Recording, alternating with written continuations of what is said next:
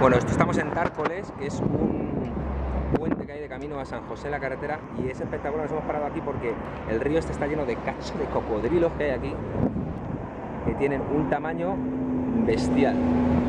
Ahí están, que parecen todo maquetas. Pero es que no solo hay estos, sino que es que está toda la vega del río ahí, fíjate.